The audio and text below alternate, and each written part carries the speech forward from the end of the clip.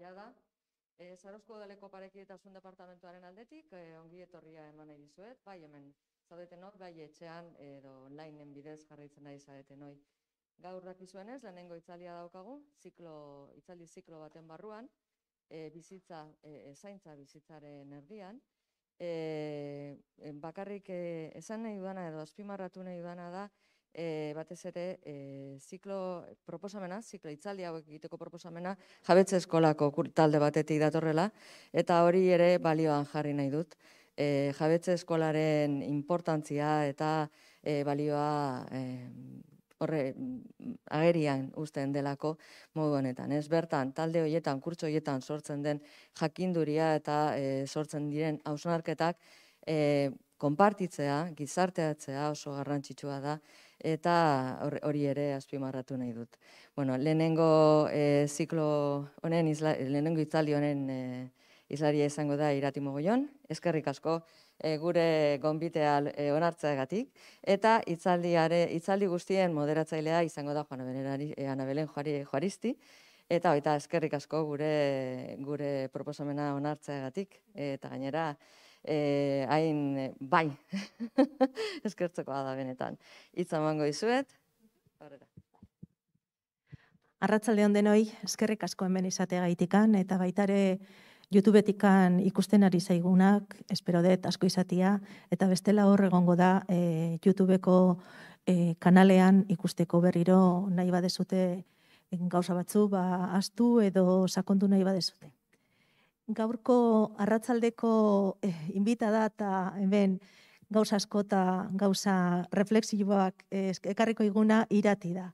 Irati eh, Mogollon Garzia, eta bera da ni bakarrikan presentatengo den momento bat, eh? Soziologia eh, doktorea, zea, ez da? UPV-en ikasita.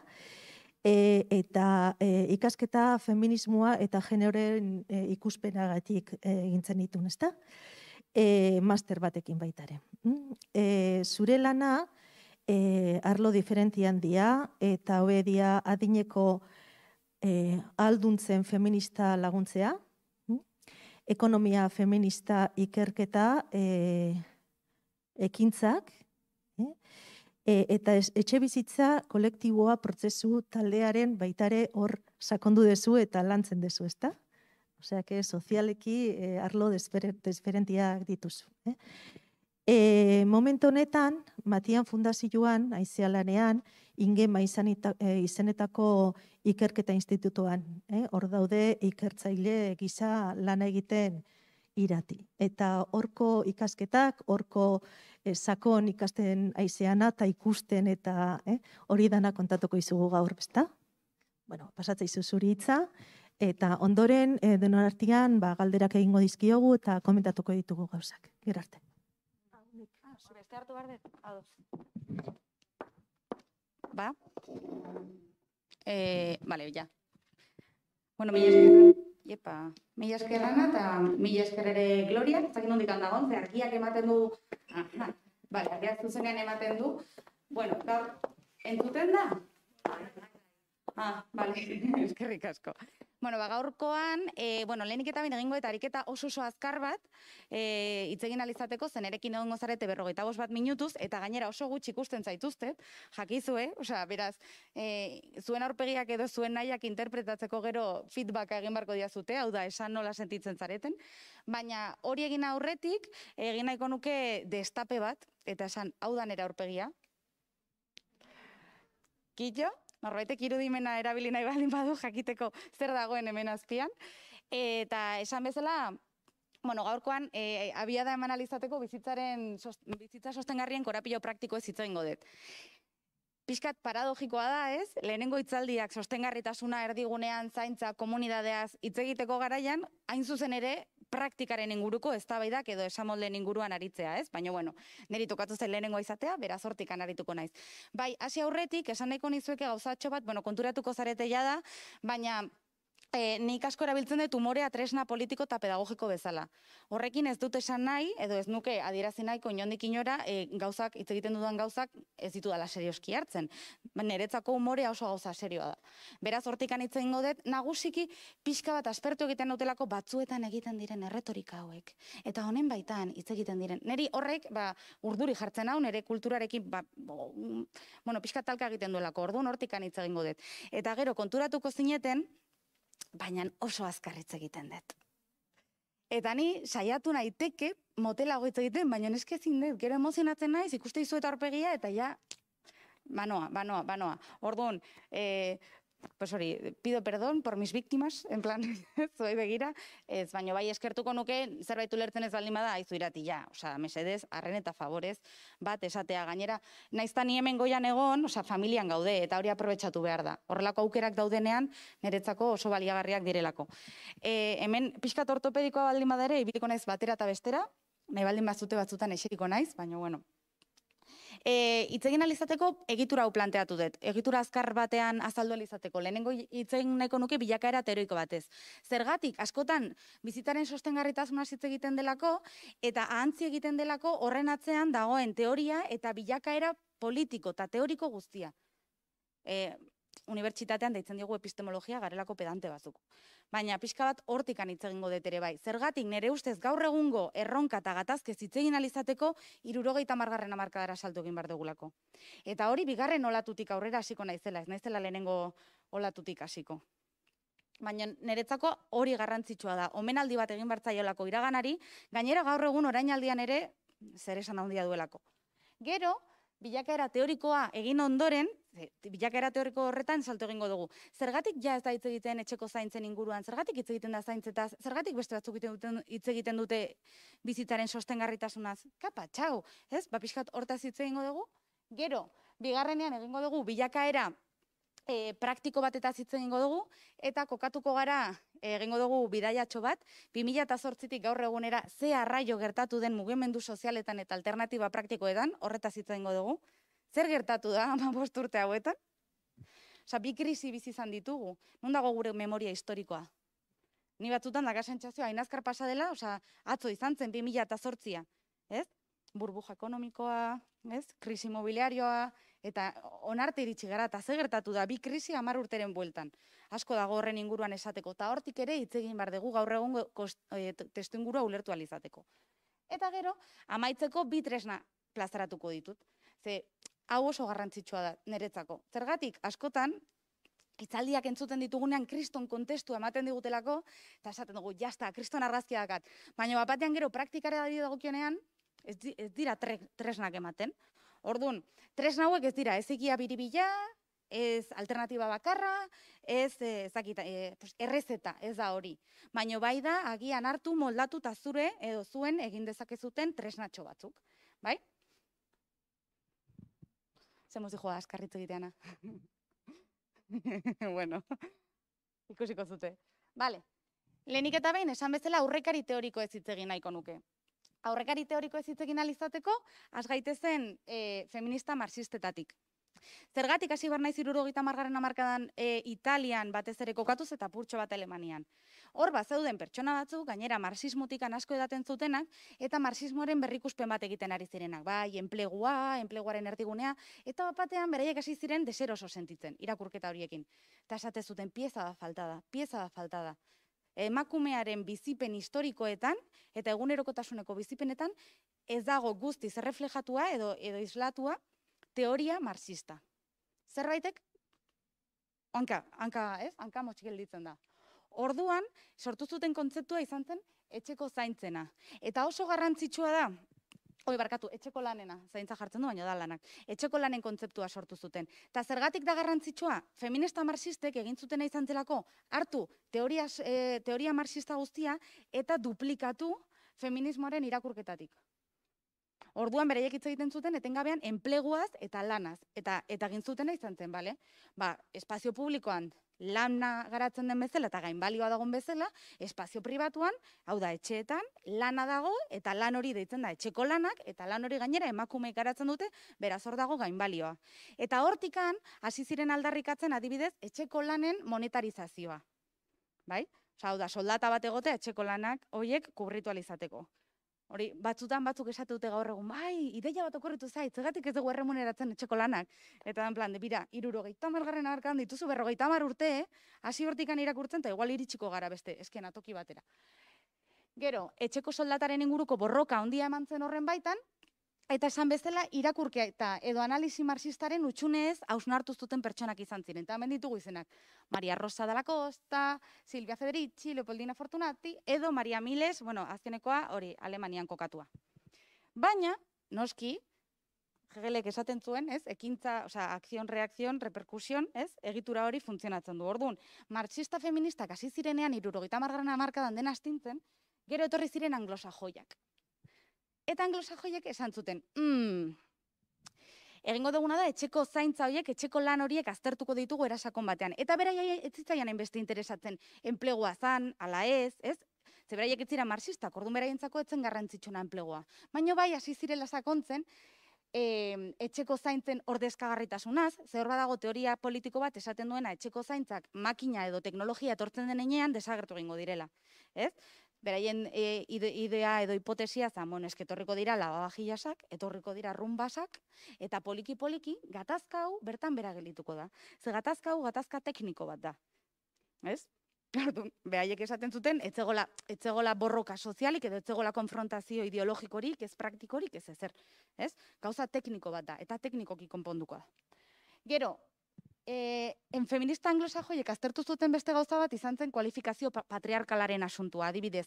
Joe, ze gertatzen da, kualifikazioa ulertzen dugun eredua, kualifikazioa beti da gizon, zuri, heterosexual batek egiten dituen gauzei zuzendurikoa, ez?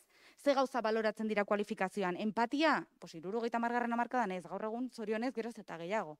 Ez? Ze jarrera edo ze ezaugarri kontsideratzen dira ona kualifikatu egoteko. Eta zeintzuk ez. Eta horren arabera hasi ziren aztertzen ere nola zegoen guztik segmentatua hori. Ere bai sortu zuten presentzia ausentzia bikoitzaren terminoa. Dela, emakumeak naiz eta merkatuarazi, ez? Egiten garen, ze irurogeita margarren amarkadan masiboki hasi ziren berriz ere, ez? Naiz eta beti egon izan diren lan munduan, ere informalean. Eta beraiek aztertu zutena da, hori, e, kon, mm, beraiek egindako emantzipazioa lan munduan, etzegola gero, birbanaketa batean oinarrituta etxeko zaintzi dagokionean. Hau da, trampa bat egon da, eta bat batean egiten dugu lana kanpoan eta etxean, eta etxekoa ez da, ez da birbanatu, ez? Hori askotan esan izan da, ez? La e, paradoja feministaren inguruan hitz egiten denean. Eta, feminista anglosajoiak izango genituzke Margaret Benson, Heidi Hartman, Balbo, Bianchi, Peggy, eta hau oso garrantzitsua da. Ze hauek oso gaizki eramaten dira goikoekin. eta hori, gero teoria feminista ikusterako garraian badaka bere pixua edo bere, edo bere kutsua. Ze gaur egun ere mantentzen da. Ordun, esan bezala etxeko zaintzak edo etxeko lanak dira hor mantentzen den terminoa. Gero, laurogei garren amarkadan, badakit txapa bat dela, baina zentzua daka, eh? Benetan. Gero, laurogei garren amarkadan, laurogei, laurogei tamargarren amarkadan, hirugarren oal- e, uholdean, zaintzaren eztabaida ematen da. Zergatik, bapatean konturatzen dira, ostras, eske etxeko lanen terminoa redukzionista da. Zergatik, planteatzen dulako dena publiko-pribatu, lana ez lana, ez, terminoetan. Orduan, beraiek esaten dutena da, mm, termino zaldatu behar dugu. Eta horre hori borborka dagonean, batzoi okurritzen zaie erreprodukzio sozialaren terminoa. Ez? Hain zuzen ere, Beneria eta Humphreys eta Rubery, bueno, laurogei garren amarkada artean. Ze gertatzen da esaten dute, bueno, igual termino hau e, zabalagoa da, ez? Eta enplegua ez enplegua superatzen du pixkatxo bat. Baina dena dela, ah, ez zegoen oso modan, ez zen oso erotikoa asuntua. Orduan gero, e, poliki-poliki zaintza terminoa lortu zen. Zaintza predisposizio eta jarduera baten moduan ulertuta. Bai? Eta hau oso garrantzitsua da, naiz eta gaur egun guzti sozializatu egun termino hau, ze bere garaian jarraitzen zen pentsatzen, etxeko lanak besterik gabe zirela, hori, ba, azkenean komplementariedade batetatik egiten ziren gauzak eta etxean egiten ziren gauzak.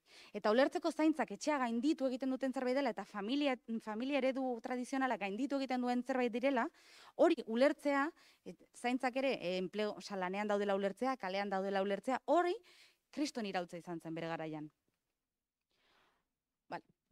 Orduan poliki-poliki etortzen da zaintzaren terminoa eta hor ja sortzen hasten da estanda bat egoten eta eh, landuko dituzute formakuntza hauetan zehar zaintzaren etikaren inguruko iritziak, ongizatearen ondo eza, hau da el malestar del bienestar. Hauek dira e, anglosajoiak eta anglosajoiak oi barkatu eskandinabak eta eskandinabak noski zer aztertzen dute ongizate estatua.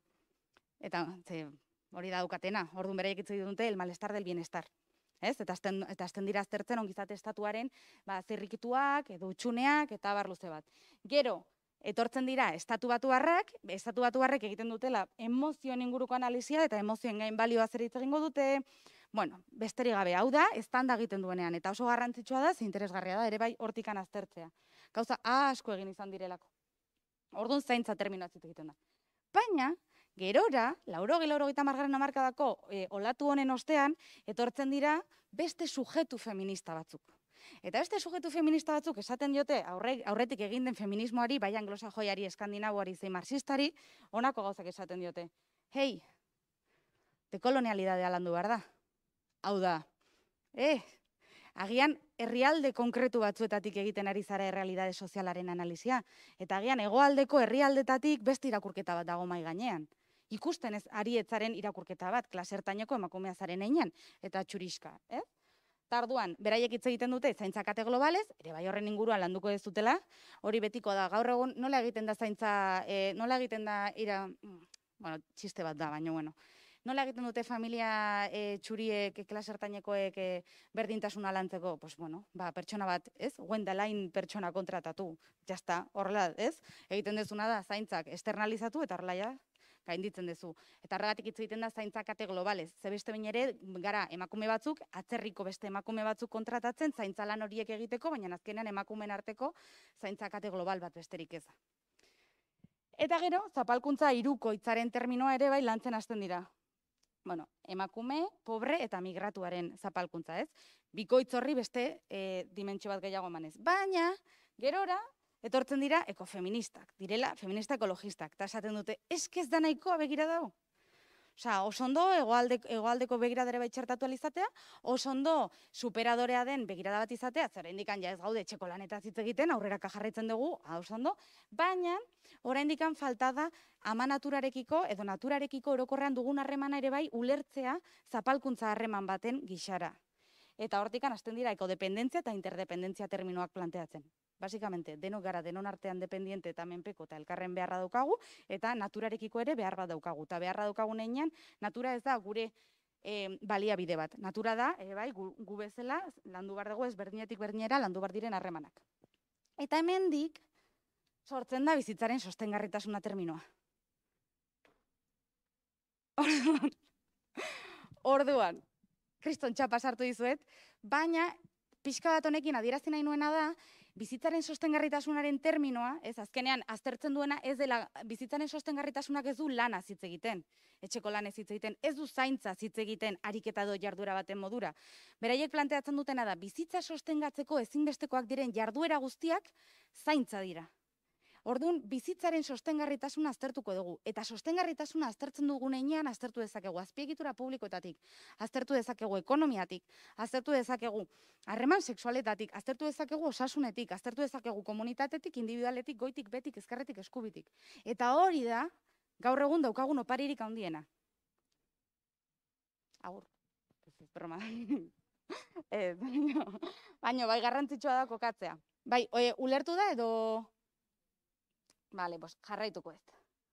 Orduan, hortikan, e, iristen gara galderara, ez? Neri interesatzen zitzaidan galderara. Ze hau izan da prefazio txo bat, ez? Aurre, aurreiko kapen bat.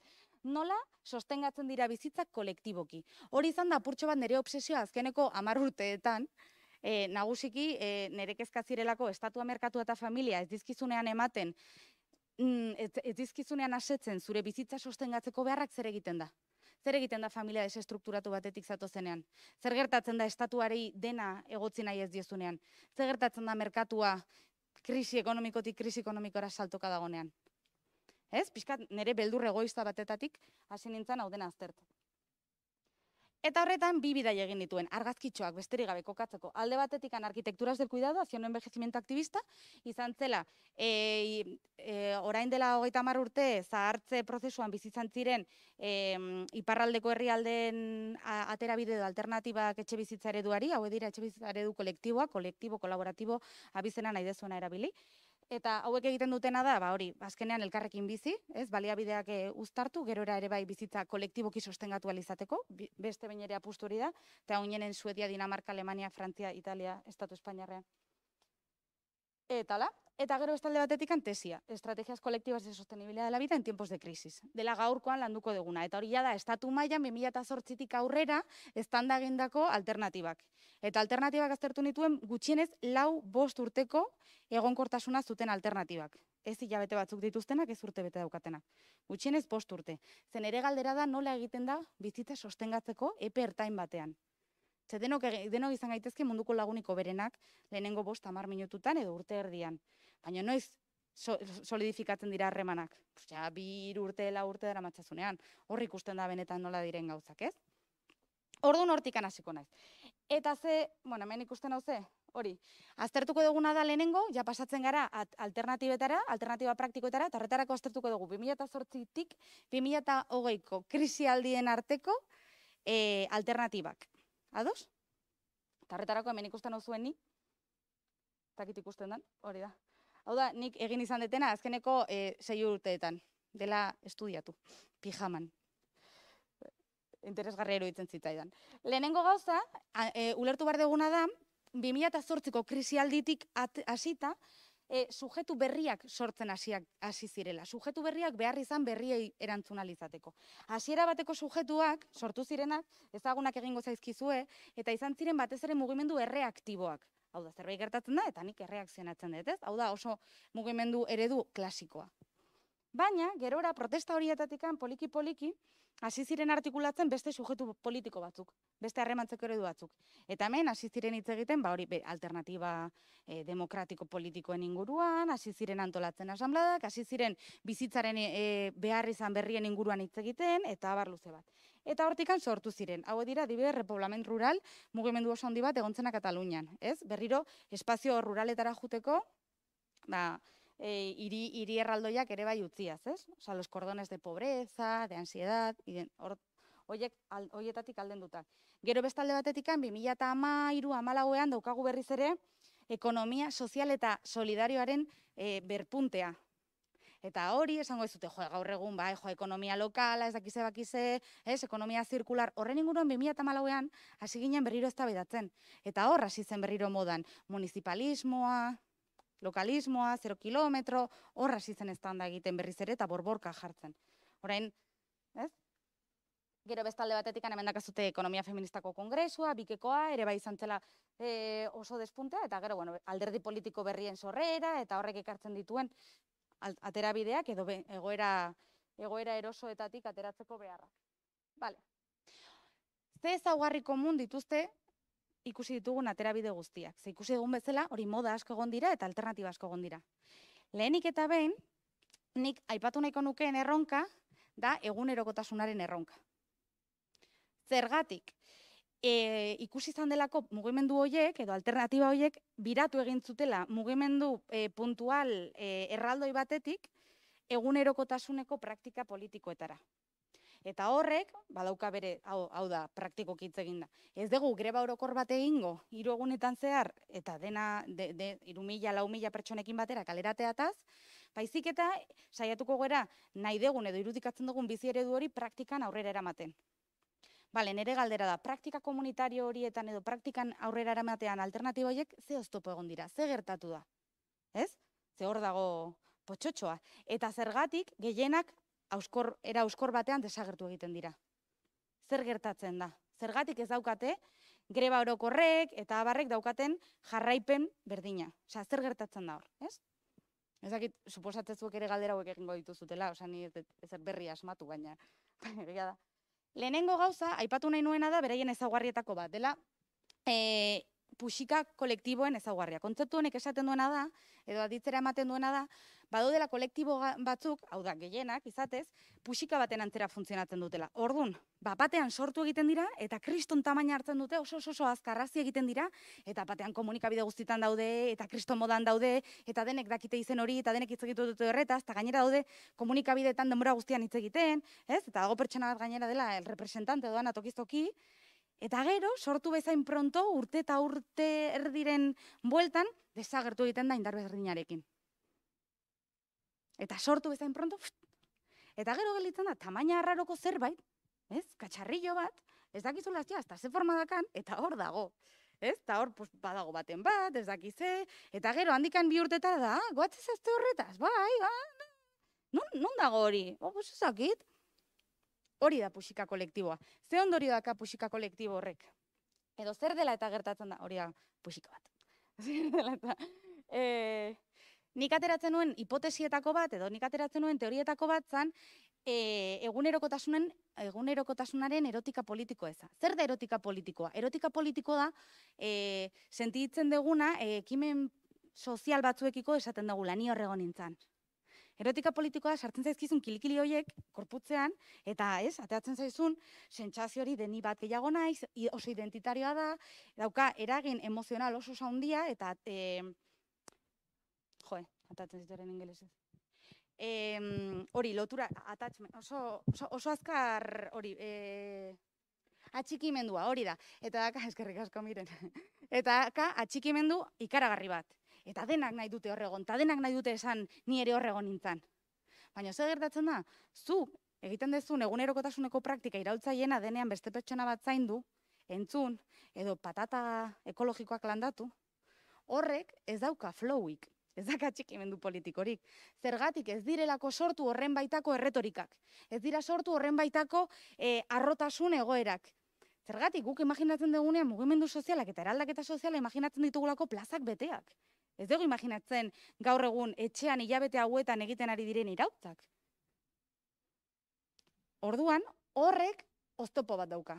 Eta da, epertainera, zuk sentitzen den hasten zarena nekea dela, ez beste. Ze jo, eh, hor zaude saiatzen ez dakize, eta ez dakizu bideo honetik zoazen ala ez, eta ez dakize, ez? Gero sartuko gara horreten inguruan hitz egiten nahi baldin badezute. Orduan hori, e, erotika politiko eza oztopo bat da egunerokotasunean gauzak garatu alizateko epertainari begira, epe laburrari begira ez noski. Eta gero, badago beste ezaugarri bat ere, nik proposatzen duten alantzea, eta da em, alternatiba izatetik agindu sozial izatera pasatzen, pasatu hoi garela. Honekin zer esan nahi dut. Norbait gogoratzen da txampon sozialetaz? Norbait gogoratzen da denbora bankuetaz? Norbait gogoratzen da hortu komunitarioetaz? Norbait gogoratzen da berdintzait ekoaldeetaz?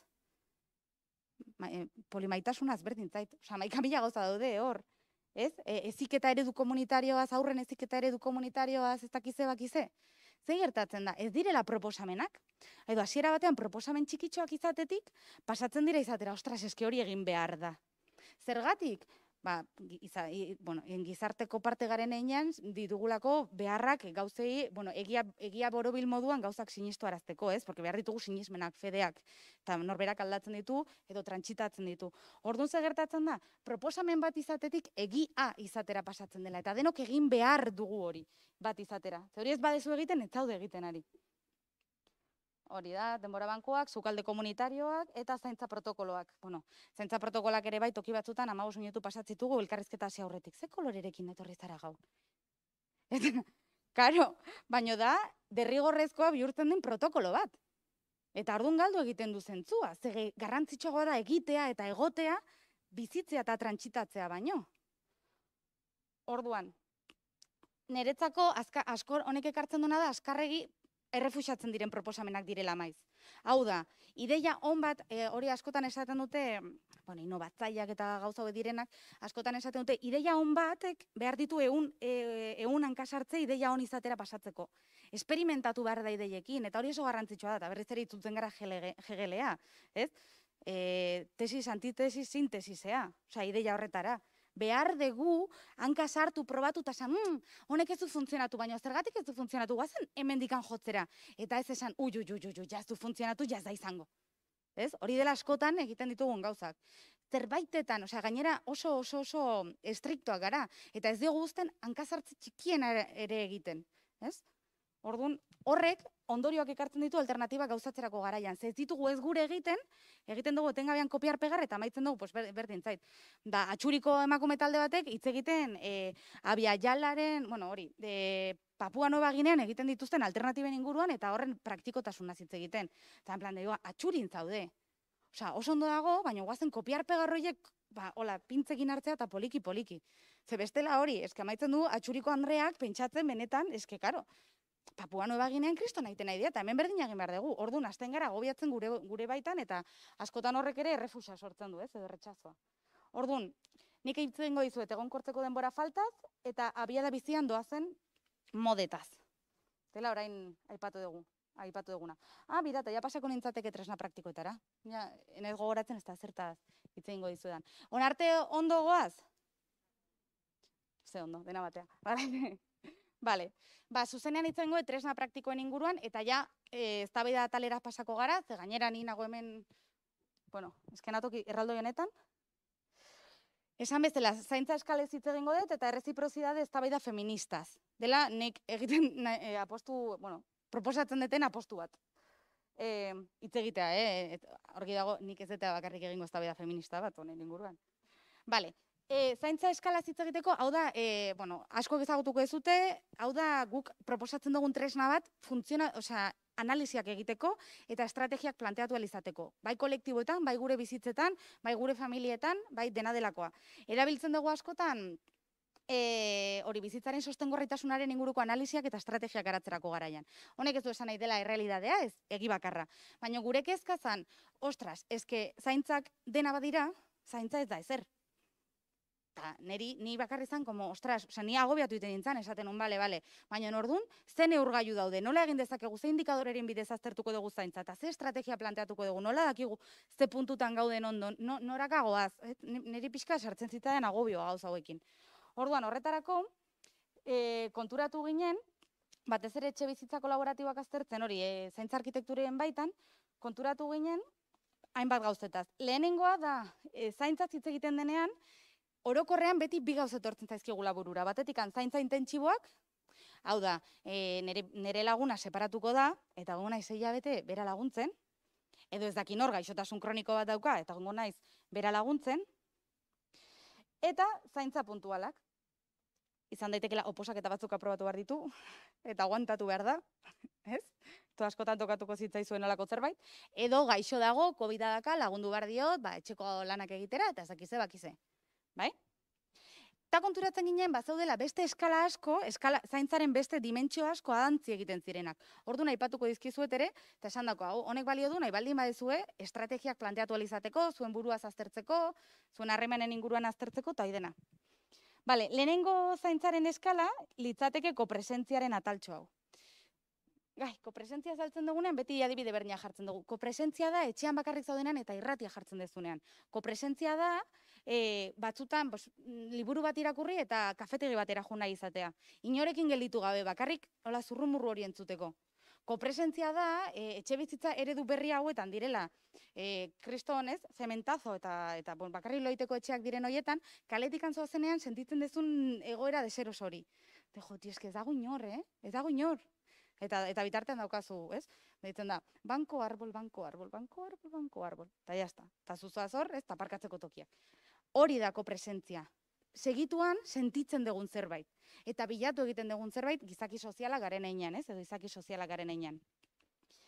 Kopresentzia oso garrantzitsua da estrategikoki bilatu eta gauzatzea. Eta espazioak bilatzea hori egon ahal izateko. Bai? Bakardadearen ezaugarri handienetako bat delako. Bigarrena aitortza soziala genuke. Aitortza soziala da entzuna izatea. Kitxo, eta horregatik toki askotan, asanbladatan, eta abar parte hartzen du jendeak, eta askotan esaten duzke, honek behar duna da entzuna izan. Está, Osea, ez du bezer gehiago behar. Entzuna izatea dare bai, askotan pertsona helduak juten direnean ospitalera edo, edo sendagilarenera ez daukate inongo gaixotasunik, baino doaz hitz egitera. Ea norbaitek entzuten dien. Entzuna izatea da, hori, e, supermerkatuko kolan zaudenean, eta erostera zoazenean, eta aurreko senyora jartzen denean, ondoko, osea, ez, kajerari kontatzen bere bizitza, eta zu hasten zara mikroadinkeria ariketekin horrela. joder, me ha lenta, hori, ez, guk gainera, pues hori mikroadinkeriarekin usatze, refusatzen saiatzen garen hori, pertsona hori entzuna izaten saiatzen ari da. Kitxo, ez du besterik nahi, entzuna izan nahi du. Eta entzuna izatea oso garrantzitsu da. Eta gainera entzuna izatea ez da telefonoz deituta esatea, ama, dena ondo? Bai, bale, bale, agur, entzuna izatea da, lagunen arteko elkarrizketa bat izatea. Ze, familia arteko zaintza harremanetan goitik bera ezker eskubi, askotan ez dira gauza horiek ematen. Ez da entzuten. Egiten dena da el txekeo y el repaso. Ondo dago, bale, jazta. Ez? Orduan, ez, entzuna izatea da, seme alabak baldin baituzute, askotan eskatzen diozutena txikia, egiten dezutena dela, berarekin, arropa erostea jun, e arropa erostea juten baldin bazea, gero kafetxo bat hartu dezakezun, eta jakin zen da hon. Ez? Eta ama, pesada, hori da entzuna izatea, hori da entzute aktiboa edo entzute ariketa bat sentitzea edo saiatzea egiten. Eta horregatik esaten dugu, asamblada hundien, zaintzarakoa, asamblada hundienak ematen direla goizeko bederatzietan kafetegietan non jendea entzuna den, non jendea hitz egiten duen aurrekontu, beraien aurrekontuetaz, ai, ba, zapatoi behar ditut, non erositu zuzen hori zuten, ah, karo, hori, dira gabinete ekonomikorik handienak. Eta zaintza eta entzutearen parte bat. Gero izango genuke bizitzaren antolamendu. Bueno, ondo, ondo guaz? Bale, bale. Gaina oso gutxi ikusten zaituztet. Bale, gero gongo litzateke zaintza e, barkatu, bizitzaren antolamendua. Hau da, guretzako zaiena dena e, jasotzen, aztertzen, eta espazio domestikotik ateratzen. Zergatik, zaintzaren antolamendua delako buruan dituzun data guztiak. Adibidez, ez dakinoren urte betetzea da, gero datorren astean ez dakiz ekarri bardet, ama taksista, mama taksistaren sindromea deitzen zaiona. Pertsona hori dakila ordutegi guztia jendearen dana, eta gainalde batetik bestera doana, hori ez da superbotere bat, bueno, bada superbotere bat, baino garatu egiten da, ez da bakarrik etortzen. Osea, ez da aurra izaten dezu momentutik batean tortilla, patatak ondo eta zaizkizula, eta agenda mental bat bilakatzen zarela. Hori eraiki egiten da, eta norbaitek antolatu behar du bizitza, beste denok bizitzan lasai arraio ibili gaitezen. Hori zer da, bizitzaren antolamendua da, beste adibeatik pintzi aldera, bilera batetik ateratzen garenean, eta bat ateratzen da superlasa, eta bestea esaten du. Baina netzara konturatu ze gertatu dan. Eta zu daude mezuak bidaltzen jende guztiari, esaten, bueno, nahi zunean hitz egiten dugu, kafetxo bat hartzen dugu, ez dakize, dakize. Hori, dazuk daukazun beste dimentsio hori, eskema hori, de nola egin denak antolatu eta denak gustora sentitu daitezen. Eta dibere garbiena, bizitzaren antolamenduena, dira gabonak non ikusten diren oso ondo nortzuk diren sujetu privilegiatuak eta nortzuk ez. Eta non ikusten da batez ere momentu batean, eta da afarietan politika hitz egiten denean. Zeude birrol, bata da lasai arroi hitz egin dezakena politikaz, eta bere iritzia eman, eta bestearekin aserretu, eta hasi jotzen, eta besteak, eta beste rol bat da, lasai, ba, ez dakizu, osabako, esan nahi zuen, baina benetan, ez, hor da bilena. Eta hor ikusten dira jarrerak. Eta hor ikusten da nor dagoen antolatzen eta nor dagoen lasai arraio bizitzen. Eta gehienetan dira bi sujetu privilegiatu. Gizonak eta gazteak. Ze gazteak dira sujetu privilegiatu ondienetariko bat. Eta gainera gutxien aipatuak, ze gazteak burrokalaria dira. Los cojines. Orduan, hori oso garrantzitsua da, ze gainera ez dakaten joan guardurarik, ez dakite fakturak zenbat balio du izan duen, doa, zola lasai arraio bizitzatik irautza egiten. Baina gero behien etxetan, zero patatero. Orduan, bizitzaren antolamendua oso zaila da ateratzen. Zegin behar dezuna da, azteko, askatu rol hori, eta, eta ulertarazi, etzarela maitatua baliagarria zarelako. Ojo! Jazta, sande dena, ez? Osa, esaiozu, amona bati, bueno, ne, bueno, esaiozu edo zein amonari, ez ez ez, ez da, ez da beharrezkoa bazkaria prestatzea. Gu jungo gara dena dela zurekin. Bueno, eska zerretu iten da. Orduan, honekin esan nahi detena, askotan jendeak eh, argumentario simplistak ditut, esaten du, ah, bueno, jazta. Ba, orduan, nik liberatzen zaitut, eta ez zu inoiz gehiago taper bat egin beharko. Eta da, en plan, ez dakizu taperraren atzean zer dago? Taperraren atzean binkulo baten aitzakia dago. Taperraren atzean dago bizitzaren antolamendua, hori, nunbaiten baliagarria eta aitortza soziala izateko tresna bat. Orduan ezin dezu hori kendu besterik gabe. Ulertu behar dezu jarduera sozial bakoitzak ze utxune betetzen dituen, nola eraiki egiten den binkulo hori, eta horren arabera erabaki nola aldatuko dezun. Baina hemen egin behar dena da transitatu. Ezin dezuna da kendu, ez da batu, simaz.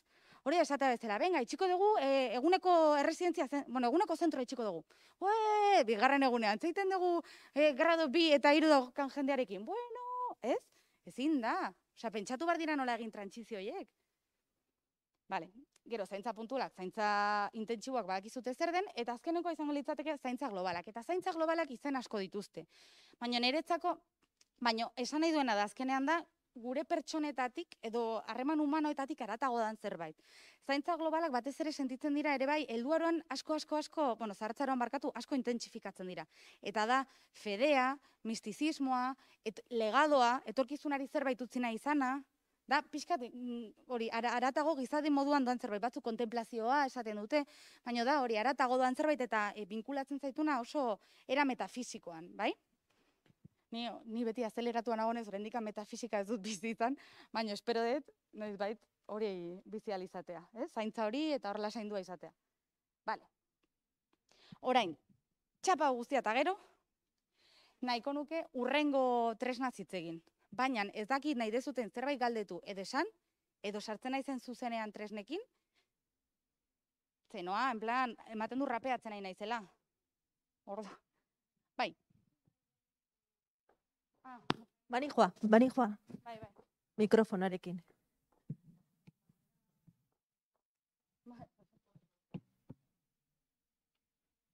Eh, ez nahiko nukela jakin zaintzaren eskala hitz egin dezu guk erabiltzen dugu eta bueno, betidan ere galdera zuri itekoa de hauzuek sortu dezue, zeinek sortu dezue, eh, non topatu dezakegun hau bueno, pixka bat garatuago. Karo, eske kontua da, e, sortu genunik eta Ana Fernandezek, e, Ana Fernandez Kubero da nere, nere laguna eta nere lagumina, e, bera da arkitekta urbanista feminista, bueno, ditu abizen pila bat, porque da una crack. Baina, plan, e, eta hori, eta egiten duguna da, osea, zaintza eskala batez ere erabiltzen dugu interventziorako. Eta dago, em, liburuan, ez dakize puntura arte dago azaldua, eta bestela gero erabiltzen da hori, erabiltzen da e, afitxa modun, edo, eta jendea doa betetzen, zer kubritzen duen non. Eta doa betetzen ere bai, publiko-pribatu nun kokatzen duen gauza bakoitza. Plan, ze hori oso garrantzitsua da. En plan, nori egozten diot zaintzaren atal bakoitza. Eta gero bigarren galdera da. Horrela nahi dut egotea, ez, bai, norarte, ze hau balio du asko, adibidez hori, em, herrietan eta edo familia eredutan, edo esaten denean, bai, gu asko zaintzan gara, ez dakize. Eta dago begiratzen bakarrik zaintza intentsibo eta zaintza puntualei. Eta ere bai jendeluarekin, gaz, bueno, eske hori gero, inter, gero gurutzatu daiteke. Baina gauza da hori hartzea eta eta galdetzea jendeari. Eta hori bale, balio izatea da interbentzio moduan. Etxe bizitza kolaboratiboetan asko zerrexagoa da, porque dan plan de, ostras, eske pasilloak handiak izatea, eta deitzen, pues hori, em, arkitektura de interakzion, deitzen zaio, ez? Osea, nahi gabe bilatzen du, osea, nahi, nahi gabe, txartean, bilatzen duena elkarto, elkartopatzea. Horrek adibidez, sortzen ditu zurrumurruak, aitortza soziala, eta osea, lehenengo bi kapitak kentzen ditu. Zezu, etzoaz pasiotik anja ko- korrika astensorera, baizik eta kriston astensore puxka superzabala, dauka maitxo bat, xertzen zea, ondokoakin hitz egiten, ez? Baina galdera da nola egin dezakegu, hau espazioak berak eta gure bizitza antolamenduak e, ahalbidetu alizateko. Ze, e, eta ere bai tresna hau sortzen genuen beste gauzatengatik. Eta da, sinpletasunaren apologia. Osea, niretzako hitza gazteleraz da ingenioso. Ze ingenioso da, ematen du super simplea, baina horren atzean dago kriston ez da. Eta da hori, osea, ah, un palo con una mopa. Eta batean da una, una, ez? Una fregona, eta da la hostia, es la revolución. Bapatean kentzen ditulako artrosi arazo pila bat? Pues bai, ba berdina, osea, izan bardu super simplea. Ze komplejua baldin bada, azten gara hor dimentsioak sartzen, da no seke. Orduan, be, igual hau ez zaizue balio, baina bilatu alden neurrian superbizuala eta eta simplea den zerbait aztertu alizateko eta interbentzioak egiteko. Bai, bos, funtzionatzen baizu abisatu, en plan, gel- kontatu. Bai, jo, ez? Igual, beste galderaren bat Bai. baldin baditu zute, eta bitarten iratik ura eraten du. bai? Edo gerorago, orain, Vale, jarraituko dela. bai? Bai. Vale, orain sartuko ginateke bigarren zatian. Zergatik. Em, nahiko nuke hitz hartu eman zirkuito ez. Gazteleraz esaten da e, reciprocidad y circularidad. Bai? Eta honek zer esan nahi du? Em, planteatzen direnean eredu komunitarioak, edo planteatzen direnean nolabaiteko egitura kolektiboak, e, ez dela bakarrik egitura bera bere baitan, baizik eta egitura horrek badakala zirkularidade egitura bat, zirkulo itxi bat izatearena. Eta zirkulo hori irekia baldin badago nonbaitetikan, sentitzen dena da, e, deserosotasuna, ezinegona, eske nik ez dakaten beste konfiantza zirkulo honetan, ez? Eta hori askotan etorri daiteke no- norabide ezberdinetatik, baina dira decepzioak. Bai? Orduan, komunitatearen arazo, arazo handienetako bat decepzioa da. Osea, hori da, baino pozoia. Eta gainera, behin sartu egiten dena, bueno, harreman batean, bikote harreman batean ere bai, ez? Osea, ostras, haserretu naiteke zurekin, baino decepzionatzen ba naiz, laska gau. Ze ber nola egiten dugu nahi buelta mateko. Ez? Decepzioa sakonagoa da. Orduan, hori da, aztertu, bueno, tesian zehar, norbaitek tesian badu oraindikan ezin da publikatu, baina badakat, hasi que ebaldin bazute pasatzi zuet. Mo- Momento egolatria, ez? Lehenme, broma da. Em, Orduan, niretzako arazo handienetako bat, zirkulo horren auskortasuna aztertzea da. Ze zirkulo horrek baditu bere ezaugarri propioak. Bale? Orduan horretara jungo gara pixkat aztertzera.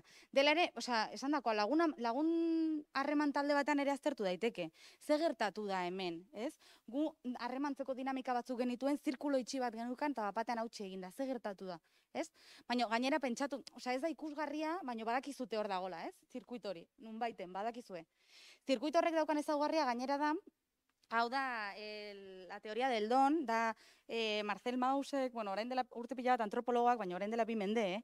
antropologoek topatu zuten gauza bat, eta da, lehenoko jendarteak, gizarte primitiboak mugitzen zirela zirkularidade logika horren baitan. Eta askotan, pasa egiten zutenak ziren eh, hori kontxak. Osea, ziren, os, hola, eh, bueno, ez da, hori, oskolak, bueno, bai, hori pasatzen zituzten, baina hori pasatzearen aitzakiarekin ari ziren binkulo bat sortzen. Eta esaten, ni arriskatzen naiz oskola hauek zuri emateko, jakin da ez dizkizudala, ez dizkidazula momentuan emango, emango dizkidazu beste noizbait.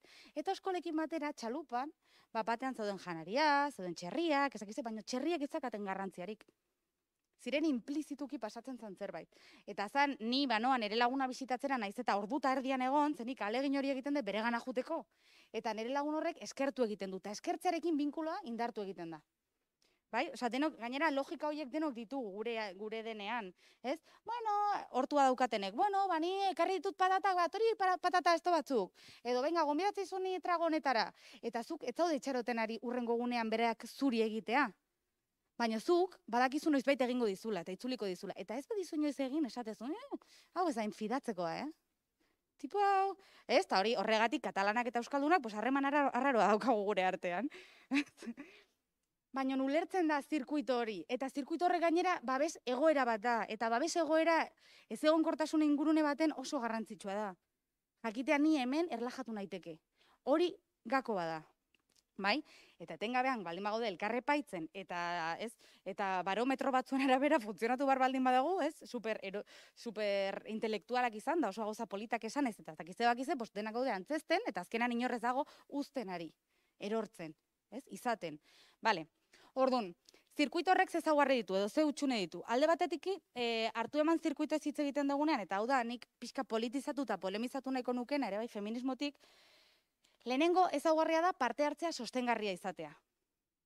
Zergatik? Parte hartzea erreziprozidadearen lotura mantentzea da, zaintzea. Osea, lotura hori zaintzea parte hartzea da. Osea, parte hartzea da oso, oso, oso zentrala den zerbait. Eta ez da, e, egingo ditugu WhatsApp bidez, e, et komunikatuak, eta hori ez da parte hartzea. Parte hartzea zaintzea da, etortzen denean norbait, ongi etorria ematea. Parte hartzea da, norbait eseri behar denean mai batean, eta aulkirik ez dagoenean, esatea, e, banoa bila. Ez? Inkluitzea, ezakize. Parte hartzeak ze e, gauza euskor daka. Lehenengoa da, e, parte hartze voluntarioa, edo apetazko voluntariotza, dela, ze gainera hori gaur egun parte hartzen da, eta denak voluntarioa da, ez? Osea, bakoitzak erabiltzen du bere eufemismoa, ez? Orduan, ez es trabajo voluntario, ez? Bueno, Orduan, lehenengo dago apetazko voluntariotza. Apetazko voluntariotza zer da? E, la, em, desde el deseo, zaten dana. Eta apetazko voluntariotza da, nik parte hartuko dut nik nahi detenean. Eta nik nire buruarekin ondo nagonean. Porque, claro, si hoy no me siento, pues no voy a ir. Eta bai, nik txosnako tur, bueno, berdin zait, nik zaindu behar nuen e, sare komunitarioa, nik zaindu behar nuen ezakizte, pero es que hoy no me sentía. Karo, humoretik anari gara, baina napeta baldin bada, zure, barem, zure baremo bakarra, uneko oztopo badauka, ez? Si estás todo el rato en el deseo, ze gertatzen da apetazko voluntariotzakin. Eta ni hau ez nago teoriatik hitz egiten ari, osa nik aztertu dituan e, alternatiba kolektibo eta kooperatiboak eta komunitarioak eta enpleguaren bidezkoak eta ez denak hortikan atrabez, osa tentsio hau dakate. Entre e, parte, e, parte hartzen dut desde el deseo edo parte hartzen dut inmolatzen naizelako. Eta biak dira oso noziboak. Bale, ze ekartzen du parte hartze voluntarioak. Oie, barkatu, apetazko parte hartzeak. Lehenengoa da, mesfidantzaren elementua sartzen duela, guztiz. Ze pentsatu, nik kontatuko izu eta adibide praktiko bat. Ekoaldea batean, e, hori, Kooperatiba Integral Katalanako ekoaldea batean egin bertzen zabaia. Bale? Karo, zapaia iteko lehenengo egunean amar pertsona zeuden, baina bigarren egunean, iru. Porque es que yo hoy no me siento. Eta horrengo egunean bi, eta horrengo egunean iru. Eta dauden irua gaina sentitzen dira tontua diala. Zergatik ez dutelako sentitzen zirkularidade hori. Eta tontua sentitzen dianez, aserretu egiten dira, frustratu egiten dira, eta ez da egiten. Beraz, azkenean mesfidantzaren elementua sartzen da. Zen honekin, honekin noraino jungo naiz ni? Nora iritsiko naiz ni pertsona honekin? Seguro, beste adibide batean sentitu izan dezutela hau. Vale. Ta, gero ekartzen duena da, mesfidantzak ekartzen du epaiketa, beldurrak eta zirkularidadea euskorraren sentsazioa. Eta epaiketak eta beldurrak dira oso, oso, oso noziboak ere bai. Zergatik, azten garelako ondokoa epaitzen, ez, ez garelako beretaz fidatzen. Eta esaten dugu, uh, eske, karo, ez? Eta azten gara ondokoarekin, takata, takata, takata. Ze ez daukagu fede itxua, ez daukagu, e, osea, ez dugu funtzionatzen esaten, venga, ba, ni konfiatzen dut. Ez bada etorri, izan da, seguro, ezin zuelako. Zerbait gertatuko zen. Hori zenbatetan sentitzen dugu, eta ze pertsonekiko. Bale. Eta gero bestalde batetik daukagu voluntariotza inmolatzailea. Eta hau da, elgudari o lagudari. E, ne jarri sakrifizio dekresentista, baina da justo niri gertatu zitzeana. Sakrifizio hori izan daiteke sakrifizio ekologista, sakrifizio dekresentista, sakrifizio berdintzait independentista, feminista, eh, berdintzait, nahi ez zutenista hartu. Baina zer da, da pertsona eredu bat edo patroi bat, azkenean beti patroi ez hitz egiten dugu soziologoek, e, da patroi bat behar duena errekonozimendu soziala eta horretarako inmolatu egiten dena. Pertsona horrek gainera askotan utxune pertsonal asko ditu. Eta nola asetzen ditu bolkatuz.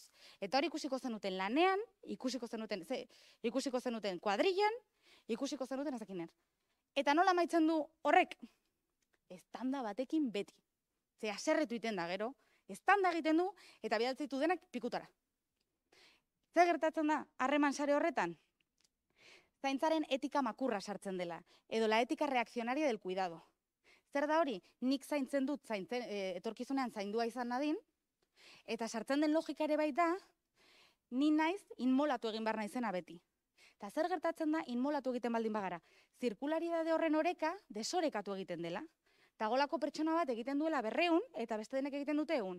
Orduan daude bi aukera, batzuk errudun sentituko dira, eta hasiko dira berreun egiten saiatzen, beraz, erritmoa, kolektibo horren erritmoa, azeleratu egingo da, eta okerrago jongo da, eta beste batzuk hasiko dira askoz gutxiago egiten. Ze gainera, beti orekatzen saiatzen gara jendartean. Eta orduan, egongo dira onak eta txarrak, eta egongo dira konprometituak eta ez konprometituak. Eta beti neurtuko da dena inmolatzen ari den kamikaze horren arabera. Kamikaze hori arazo moduan ikuste, ikuste, ikusi ordez. Ta esan ordez, e, kontuz, eh? In, ze, orzoaz, atope zabiltza, eta inmolatzen baldin bazara denon kalteta, denoi kalte egiten diguzu. Ze gainera, inmolatzen zarenean, gero gu sentituko gara errudun, ze asko zor dizugu. Egia ez den zerbait, ze zu bakarrik egin dezu. Eta hori askotan gertatzen da ere bai, supererreferenteak diren pertsonekin. Hau da, kolektiboetako aitatxo eta matxo diren pertsonekin. Eta horrek ekartzen du kristo menpekotasuna kolektiboarekiko ere bai. Ze ez dira bere baitan sostengarriak, eta gainera zerbait zor diote pertsona horri. Hori etxe bizitza kolaboratibo askotan gertatzen zen. Adibidez. Eta gero arazo bat zen. Ordun, nik zera aipatzen duten gauza da, e, parte hartze sostengarria emateko bi gauzaiek, bi muturreko joera hoiek problematizatu behar dira. Baino biak, ez bakarrik bat. Ze biak dira oso noziboak. Hau da, zaintza zirkuitoa mesfidantzaz betetzen dute bai oso goian daudenak, ze behartzen ari dute talde guztia toda hostia jutea eta erretzea. Hau da, baliabide kolektiboak ustiatzen ari dira, deitzen, deitzen dena hori, pues, eskilme de lo comunitario. Osea, ze, pentsa dezagun, de- egunean ditugula, badibidez, e, ba, hori, voluntario sare batean egoteko, e, ba, nik zer dakit, korrika solidario bat antolatzeko. Denok adostu badegu, amar ordu eskainiko dizkiogula, hilabetean, karrera hori sortzeari, ez, egiteari, ze hostia izazu, hogeita hamabost ordu sartzen. Eta gaina ze, eskertu behar dizugu? Ez, kamikaze bat izaten ari zara. Eta zer dela eta sartzen ari zara hogeita hamar ordu? Zer dela eta desoreka hori?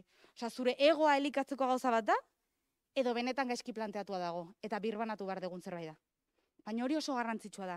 Eta gainera, okerrena da, bigarrena beti eroi moduan ikusten dela, eta ez arazoren parte moduan, osea, beste aurpegiraren gixara. Bale, jamaitzen noa, eh, lasai. Gero, egongo litzateke, e, eragile sostengarriak.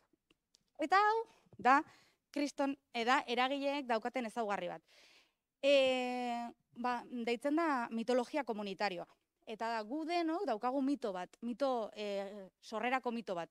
Eta da, komunitateak, ba, bestu egingo gaituen zerbait dela, denon artean, denok berdintasunean, bueno, bere garaian, e, bore, nitxek planteatzen zuenean el hombre libre, pues berdina, baina beste termino batzutan. Orduan guk, gutariko bakoitza, komunitateaz pentsatzen dugunean, espektatiba ezberdin batzu jartzen ditugu komunitate horrekiko. Eta gugoaz, espektatiba hori guztiekin. Eta denak, komunitatean botatzen dira, ze hemen zainduko gara. Baina zer norarte zainduko gara, ze eskalatan zainduko gara. Ze agian batek nahi du bere txikiak zaintzea espazio horretan, eta beste batek nahi duena da, ba hori, ba herria zaindu, kaleak zaindu, noiz baitola bazkaritxo bat egin. Ordun, zer da oso garrantzitsua? Talde horrek, edozein talde izanik, adostea ze izango da taldeak asumituko duen zaintza, eta ze gelditzen den kanpoan. Eta kanpoan gelditzea ez du esan nahi ez denik emango inondik inora. Esan nahi du informalki emango dela. Eta adosten baldin badegu, hemen zainduko dena, izango dela, ba, pentsa ezagun, enplegua eta, eta osasuna, eta kanpoan utziko direla, seme alaben zaintzak, hori da sumitu deguna, eta hori da egongo dena. Eta gero, seme alaben zaintzak sa, e, sare informalak sortzen baldin badira, zaintzeko bikain. Baina ez diogu kolektiboari enbesteko presioa sartzen. Ze hitz egiten ez diren gauzak eta mugak jartzen ez baldin badira espektatibei, horrek etengabean hautsiko du, bueno, dengo du beste amaika mila tokitatik.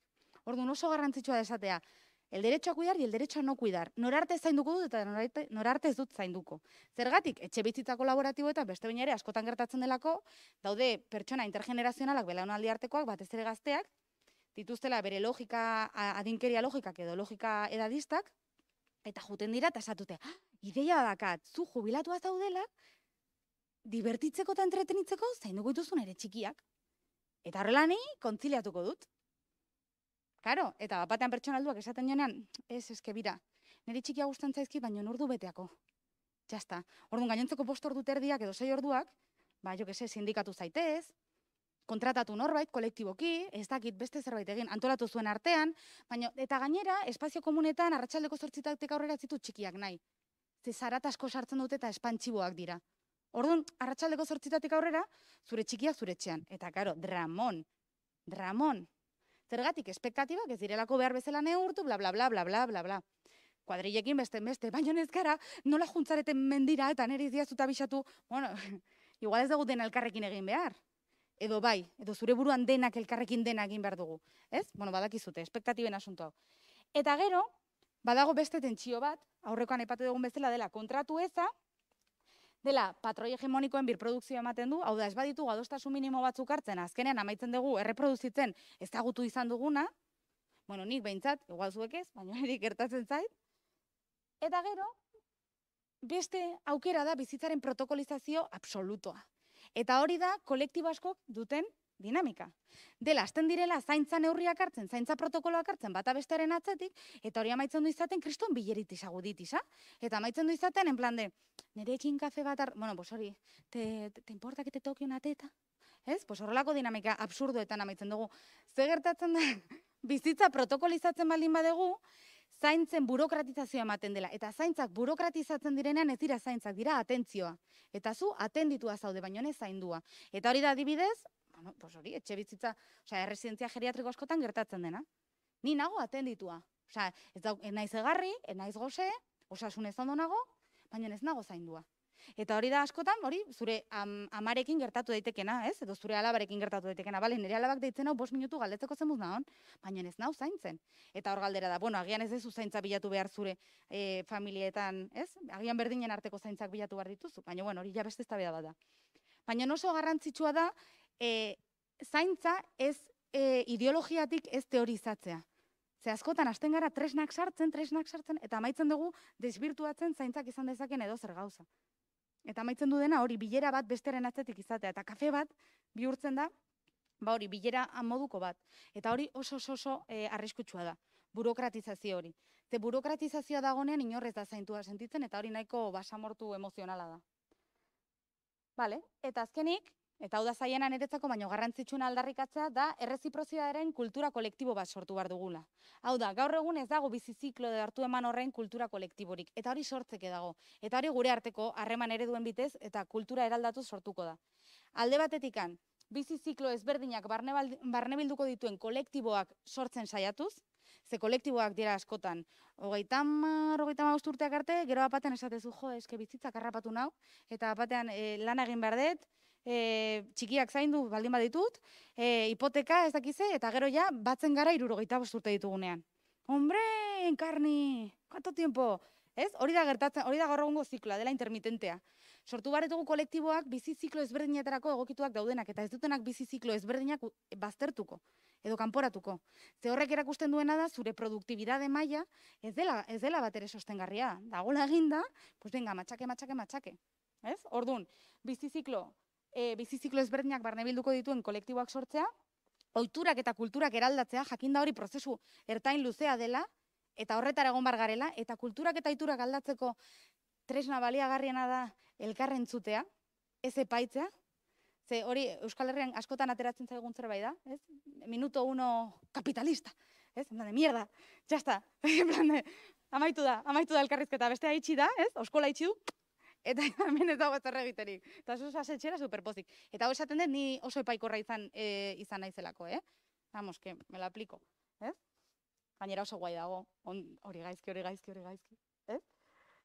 Eta gero, bizitzan sostangorretasunari muga individual eta kolektiboak ezartzea, eta oso garrantzitsua da esandakoa. Osea, bizitzak finitoak dira, eguneko orduak finitoak dira, denbora daukadana finitoa da, amaitu behar dut. Eta honen arabera ere oso garrantzitsua da hori ere kontuan hartzea. Ze askotan pentsatzen dugu, e, zortzi batzen baldin bagara, infinito egon gaitezke hemen. Ez.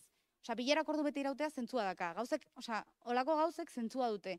Eta zaindu egin behar da, ze hori da gero emango diona sostengarritasuna gauzei. Eta azkenik, egunerokotasunaren erotika politikoaren alandu behar deu, baina hori denon erronka da, ze ez dakit nola egiten den. Egia esan. Ta hau, da esaldi bat, e, biokonstruktore batzuk e, lerma ekosozialekoak esaten zutenan ere ikerketan, bazuden bio, bioeraikuntzan ibiltzen ziren batzuk, lerma izeneko herri txiki batekoa burgos ingurukoa, eta hoiek, e, pues dira, ama, a, bederatzi urtetatik lanean egon dira, ez dira ekologistak eta dira herriaren aldarrikapen egiten dutenak, baina ez daukate e, amaika mila liburu bizkarratzean, eta, eta titulo, eta karrera, eta ez? Eta beraiek beste kolektibo batzuetaz esaten zuten. Son, capaces, son capaces de lanzar un satélite al espacio, pero no saben poner las tuberías del baño de su casa. Eta niretzako hori da politika egiterako garaian eta erregintza egiterako garaian dugun utxune handienetako bat. Zentratzen garela inbeste erraldo ikeri hoietan eta ito hoietan, aztu egiten dagula, agian hasi bargara hitz egiten nola garbituko diguten etorkizunean ipurdia, edo horrelako gauza humano eta mundano ez. Benetan gero eraldaketa bat eman dadin. Eta mila esker. Mm. Eskerrik asko irati, eskerrik asko. Bueno, zenba gauza, zenba gauza kontatu ituzun, ezta? Eta e, aurren hasi mapa mental batekin irikitzen pixkat burua e, feminista marxistak, e, anglosajonak, eta pixkanaka pixkanaka ekarri dezu honea e, zaintza zer dan eta ze evoluzio ekartzen nahi dan zaitza gure herrian, ez? Eta, bueno, hor notizionak ere badaude, zerren evoluzio badauka zaitza, ez? Hori notiziona da, eta obera goazela ematen du, ez? Bainepin, olako reflexioarekin eh, eraman nahi digu beste momento hobeagotara, ez? Ikasi, zer ez degun eta zer ez deguten ondo egiten, eta hortikan evoluzionatu eta gauzako beto egin, ez? Bueno, nik pentsatzen dut, e, bueno, en YouTubeen e, egon dira ikusten denbora guztia baten moitu gabe, amasei amazazpi pertson, eh? Osea, que oso txintxo, eta osea, que hori nahi du esan, in, interesa bilatu dutela zuk esan dakoan. E, galderarik ez dira egon, osea, ni pentsatzen dut hemen igual izango dirala galderak. Eh? A ber, zein zenek proposatzen ditu galderak, zerren geldituko dira hor gauza pila eh, nahi dezutela proposatu iratiri. Venga, a ber, animatu zaitezte. Lehenengo daude, iru segundu, non inoak Bai. ez duen parte hartuko, eta gero ritual hori ja falta. Normalian izaten daola, bai. Eta aurrenengo izaten da Valentea.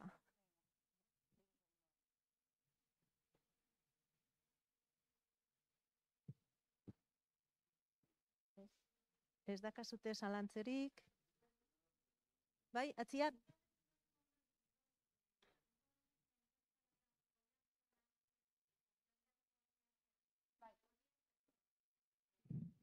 Zirkuloa, Vale, bai. bai. Eske, kontu, zaila da, eh? Ze da, mm, gu batez ere konturatu ginen horretaz helduaroan, eh? Eta da, em, ba, batean zure zaintza, zu- garrantzia ematen diozun gauzen artean, dago zerbait oso mistikoa dena. Eta izan daitekela, edo e, meditatzea, edo yoga egitea, edo landareak ureztatzea, edo, baino da zerbait, e, legadoa, edo, hori, em, Zaki, baina da pixkat eh, hori gizartetik aratago, osea, maila oso mistiko batean kokatzen den zerbait. Ni hori, ni, nik ez dakit, baina, e, osea, ni, nik ez dut sentitu, orduan ezin dizut esan, baina bai da e, hori konektatzen zara beste zerbaitekin, beste dimentsio batekin. Eta, osea, gu adibidez egon ginen, e, monja budista baten etxean, eta komunitate horretan, bazegon jende asko etzela fededuna. Baina e, dolu, dolu ritualei dagokionean, ez dakize, astentziran olako gauzetan, eta gero kriston garrantzia ematen zioten hori presente egoteari, ez dakize, ni, ni beti azeleratua nago, ordu ni ez nago oso presente, zoritxarrez. Baina, baina uste hortik handoala. Ni, naiz gehiago, igual norbaitek baldin badaka hor ez, horlako eredua, pues, hitz egitea horretaz, baina hortik handoa. Eta horretaz, ni beste galdera baneukan, natura nun sartuko zen duke en, rosko horretan, zirkulo hoietan, bai, kanpokoan? Bada, sentitzen dezun ekarpena, ekarpen modura, sentitzen dezula eta doa iz- izabiatik aratago. Osa, ondokoa edo, edo jendarte ere utikan aratago, egiten dezun ekarpena. Baina, bai. Eta naitur, naturaren zain- zaintzare hor sartuko zara, ezta?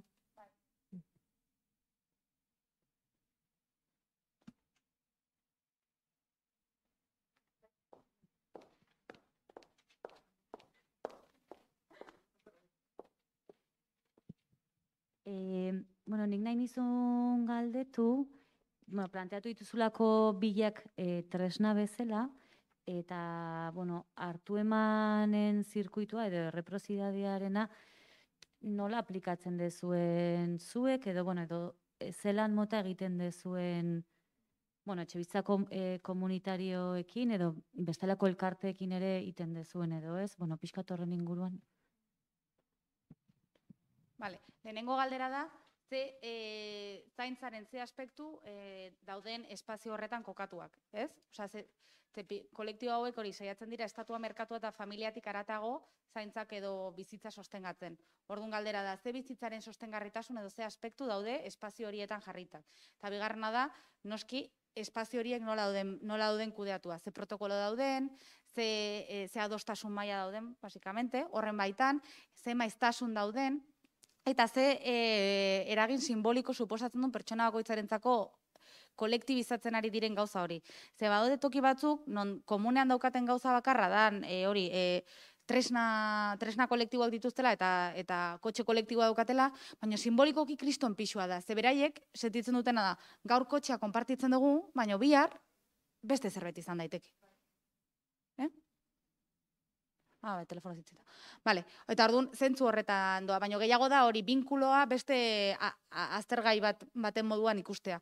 Eta gero ikustea hori nola nola mm, ez hainbeste organigrama baten arabera non dagoen konpromisoa, baizik eta egunerokotasunean non dago eta horretarako etnografiak eta beste tresna batzuk oso baliagarriak dira. Ze e, oberena da, gu kolektiboetara goazenean askotan egiten den utxune handienetako bat da, zuk elkarrezketa bat egiten dezula eta uste dezula hori dela kolektiboaren argazkia. Baina zorionez, gezur bat denboran zehar oso zaila da mantentzen. Orduan horri esker ikusi dezakezu gero teoria eta praktikaren arteko tentsioak.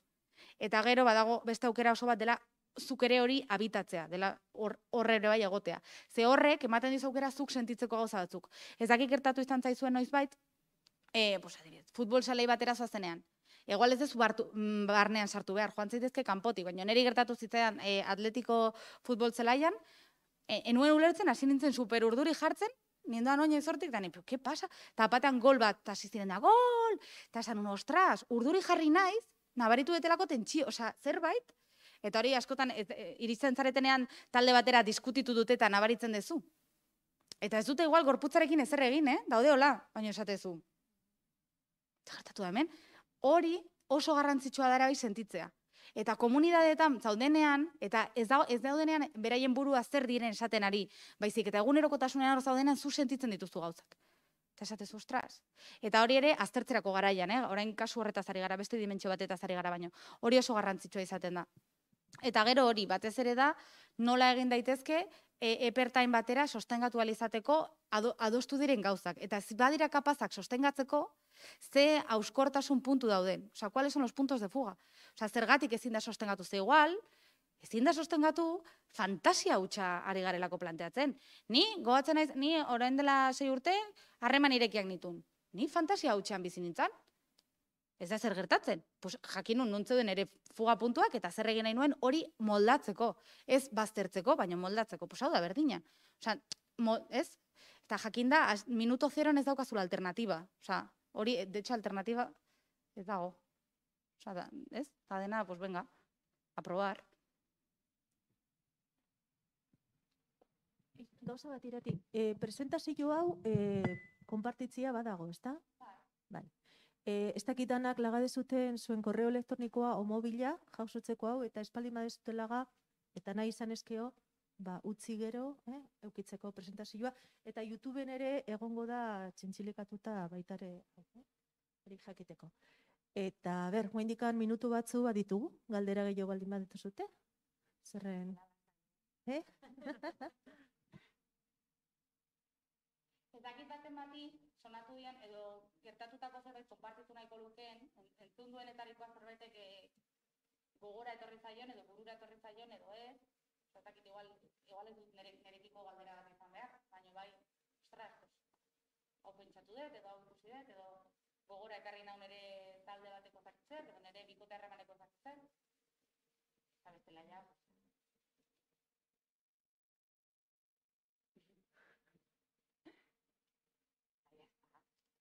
uste dut oso gustura egon gehala zuri entzuten eh, daukazu hori traila parrato, eh? Dakazu, ez? Dakazu. Baina eske eta gainera esan behar da konteniduak inzala, ez zala errepikatzen.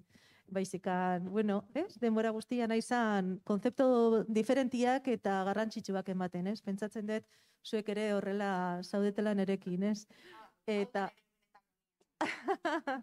horregaitik nahi dugu eskertu e, irati bere benetan eskerrak zerren, bueno, intenso, intenso izan da, zuretzak ere desgaste bat izango zan, baina eskertzen dizugu asko, zerren neri bainepin eta pentsatzen de beste ire bai, pista asko eman dizugu eta importantea da. Eskerrik asko irati.